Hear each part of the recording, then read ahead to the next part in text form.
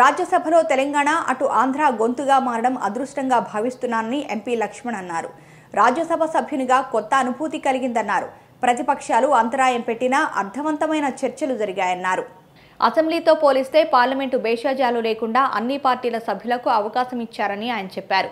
తెలంగాణలో కేంద్ర పథకాల పేరు మార్పు నిధుల మళ్ళింపు విషయాలను కూడా పార్లమెంటులో ప్రస్తావించే అవకాశం వచ్చిందని తెలిపారు. అలాగే విద్యుత్తు డిస్కం సమస్యలు ప్రభుత్వ భూములు అన్యాక్రాంతం అవ్వడం హెచ్ఎంటీ భూములు అన్యాక్రాంతం కావడాన్ని ప్రస్తావించానన్నారు. ఆవాస్ యోజన పథకాల నిధులు మళ్ళింపు అంశాన్ని కూడా లేవనెత్తానని చెప్పారు. అయితే తాను అడిగిన వాటిలో పదిహేను ప్రశ్నలకు లిఖితపూర్వకంగా సమాధానం వచ్చిందని ఎంపీ లక్ష్మణ్ స్పష్టం చేశారు. మోడీ ప్రభుత్వం చిన్న కులాలకు న్యాయం చేస్తోందని ఎంపీ లక్ష్మణ్ అన్నారు. ఎస్టీలకు రిజర్వేషన్ పెంపు విషయంలో కూడా కేసీఆర్ మోసం చేశారని ఆయన ఆరోపించారు. పనికి ఆహార పథకంలో పనులు కాంట్రాక్టర్లకు ఇచ్చి నిధుల దుర్వినియోగం చేయడాన్ని పార్లమెంటు సాక్షిగా చెప్పే అవకాశం వచ్చిందని గుర్తు చేశారు. రైతులకు కేసీఆర్ సర్కార్ అత్యంత ద్రోహం చేస్తోందని మండిపడ్డారు. తెలంగాణలో ఫసల్ భీమా అమలుకు నోచుకోవడం లేదన్నారు. పార్టీలకు అన్ని పార్టీల సభ్యులకు సమాన అవకాశాలు రాజ్యసభ కల్పించడం ఒక కొత్త ఆనవాయితీగా కొత్త అనుభూతిగా నేను పొందడం జరిగింది. అసెంబ్లీ సమావేశాలతో పోల్చినట్టయితే పార్లమెంట్ సమావేశాలు దేశజాలకు పోకుండా ప్రభుత్వం అన్ని పార్టీల సభ్యులకు సమాన అవకాశాలు కల్పించడమే కాకుండా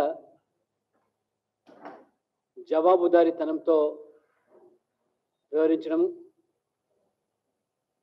సభ్యునిగా కొత్తవాడిని అయినప్పటికీ అంది వచ్చినటువంటి అనేక అవకాశాలు ప్రశ్నోత్తరాల సమయంలో కానివ్వండి జీరో ఓవర్లు కానివ్వండి స్పెషల్ మెన్షన్స్లో కానివ్వండి లేదా అనేక బిల్లులు ప్రవేశపెట్టినప్పుడు ఫినాన్స్ బిల్లు అప్రాపరేషన్ కోసం ప్రస్తావించిన అంశంలో మరి మాట్లాడే అవకాశం నాకు రావడము. మోదీ ప్రభుత్వం చేపడుతున్నటువంటి పథకాల అమలు అంశంలోనైతే తెలంగాణ రాష్ట్రంలో ఏ రకంగా ఆ పథకాల పేర్లు మారుతూ ఉన్నాయి నిధులు గాలి మల్లుతూ ఉన్నాయి దుర్వినియోగం అవుతున్నాయి అనే అంశంలో చక్కగా రాజ్యసభ ద్వారా ప్రస్తావించే అవకాశాలు నాకు రావడము. రాజ్యసభలో తెలంగాణ గొంతు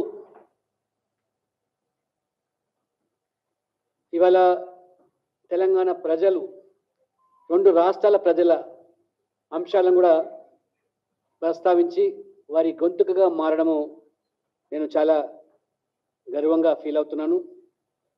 ప్రధానంగా ఈ సమావేశాల్లో తెలంగాణ ప్రభుత్వం ప్రధానమంత్రి ఆవాస్ యోజన పేదల ఇల్లు ఏ రకంగా ఆ నిధులు దారి మళ్ళుతున్నాయి అమలు నోచుకోకుండా పోతున్న అంశంతో అదే రకంగా డిస్కమ్స్ ఏవైతే రాష్ట్ర ప్రభుత్వమే పూర్తిగా బకాయిలు పడి వాటిని నష్టాల ఊబిలోకి నెట్టినటువంటి అంశాన్ని కూడా ఎక్స్పోజ్ చేయడం జరిగింది. పబ్లిక్ సెక్టర్ అండర్టేకింగ్ సంబంధించినటువంటి భూములు హైదరాబాద్లో చాలా విలువైనటువంటి కోట్ల రూపాయలతో కూడుకున్నటువంటి భూములు ఏ రకంగా అన్యాక్రాంతం అవుతున్నాయి ప్రజా ఉపయోగపడేదానికి భావితరాలకు ఉపయోగపడేటువంటి ఈ విలువైన భూములను అధికార పార్టీకి సంబంధించినటువంటి నాయకుల అండదండలతో భూ కబ్జాదారులు ఈ పార్టీకి